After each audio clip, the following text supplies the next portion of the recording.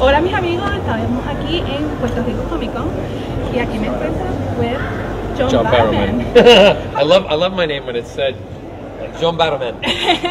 I'm very excited Awesome, you. awesome. Um, first question. This is your first time here, right? Uh, this is my first time at Puerto Rico Comic Con.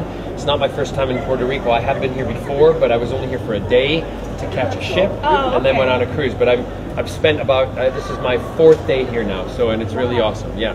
Okay, so I know that after you left Torchwood and Doctor Who, you've been doing more audio. I never? I never left Torchwood and Doctor Who. Yeah. The characters were just not used anymore at a Yeah. time. But we do the audio versions of Torchwood and some Doctor Who episodes also. Yeah, they're and they're they're very successful.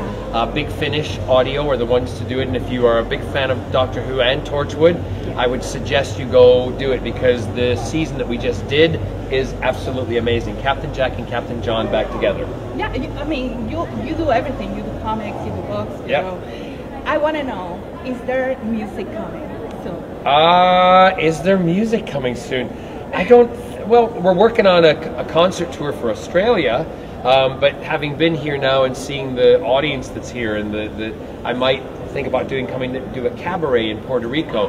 But there's other. We're, we're talking about doing stuff because I just did a couple of uh, one-off concert gigs in uh, Australia and in the UK, and they were very. They went down very well. I do big concert tours in the UK all the time, but I want to spread it out a little more and let be people amazing. hear me sing a little more. Oh yeah. Okay, last question. I know you're very active on social media. Yes. You're always pleasing the fans. Yes. Now I've got to ask you, which one do you prefer the most? Going commando Uh-huh. or inspecting kilts? Never ask me a favorite question because I love going commando. In fact, I'll be posting something this probably I don't know when this is going out, but after we talk tonight, I'll be doing a commando video. Oh my God. And then also uh, we will be um, there's no kilts here, so I can't inspect them. So, but I can tell that the Puerto Ricans would wear kilts very well. Oh yeah. That's all- Puerto Rican men, bueno. That's all I can say.